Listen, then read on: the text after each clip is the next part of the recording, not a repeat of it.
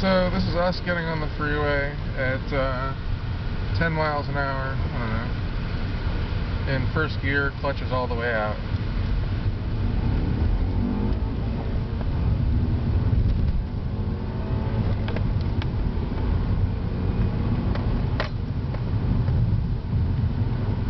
Pretty quick for a stock car.